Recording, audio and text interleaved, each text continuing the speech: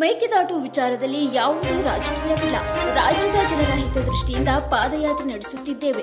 ಇದನ್ನು ಟೀಕಿಸುವವರಿಗೆ ತಾಯಿ ಚಾಮುಂಡೇಶ್ವರಿ ಸದ್ಬುದ್ಧಿಯನ್ನ ನೀಡಲಿ ಎಂದು ಕೆಪಿಸಿಸಿ ಅಧ್ಯಕ್ಷ ಡಿಕೆ ಶಿವಕುಮಾರ್ ಹಾಗೂ ಮಾಜಿ ಸಿಎಂ ಸಿದ್ದರಾಮಯ್ಯ ತಿಳಿಸಿದ್ದಾರೆ. ಸ್ವಾತಂತ್ರ್ಯ ಸಂಗ್ರಾಮದಲ್ಲಿ ಯಾವ ರೀತಿ ಒಂದು ಹೆಜ್ಜೆಯನ್ನ ನಮ್ಮ ಪೂರ್ವಜರು ಹಾಕಿ ದೇಶಕ್ಕೆ ಸ್ವಾತಂತ್ರ್ಯ ತಂದುಕೊಂಡ್ರು ಹಾಗೆ ನೀವು ಕೂಡ ನಮ್ಮ ಜನರ ರೈತರ ರಕ್ಷಣೆಗೋಸ್ಕರ ಬೆಂಗಳೂರಿನ ಕುಡಿಯ ನೀರಿಗೋಸ್ಕರ ನೀವು ಕೂಡ ಹೆಜ್ಜೆ ಹಾಕಿ ಅಂತ ಮನವಿ ಮಾಡ್ಕೊಳ್ಳಿಕ್ಕೆ ನಾವೆಲ್ಲ ಕಡೆ ನಮ್ಮ ಡ್ಯೂಟಿ, ಕರ್ತವ್ಯ, ಆಹ್ವಾನ ಕೊಡಬೇಕು. ಅದಕ್ಕೆ ನಿಮಗೂ ಕೂಡ ನಾನು ಆಹ್ವಾನ ಕೊಡಲಿಕ್ಕೆ ನಾನು ನಿಮಗೆ ಬಂದಿದ್ದೇನೆ. ನೀವು ಕೂಡ ಬೆಂಗಳೂರಾಗಿ ನಿಂತ್ಕೊಳ್ಬೇಕು. ನಮ್ಮಿಂದ ಏನಾದ್ರು ತಪ್ಪಿತ್ತು, ನಾವೇನಾದ್ರು ತಪ್ಪು ಮಾಡ್ತಾ ಇದೀವಿ ಅನ್ನೋದಿಲ್ಲ. ನೀವು ತಿನ್ಲಿಕ್ಕೂ ಕೂಡ ನಿಮಗೂ ಶಕ್ತಿ ಇದೆ.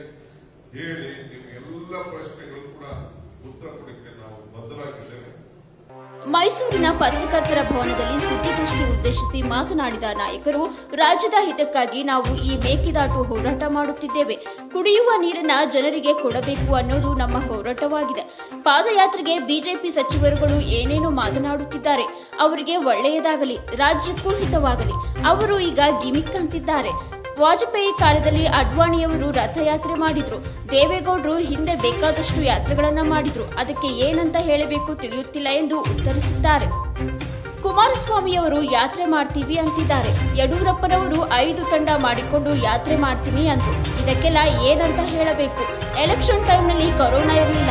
ಈಗ ಮಾತನಾಡುತ್ತಿರುವವರಿಗೆ ಒಳ್ಳೆಯದಾಗಲಿ ಎಂದು ಮೇಕೆದಾಟು ವಿಚಾರವಾಗಿ ಹಿಂದೆ ಸರಿಯುವ ಪ್ರಶ್ನೆ ಇಲ್ಲ ಎಂದು ತಿಳಿಸಿದ್ದಾರೆ.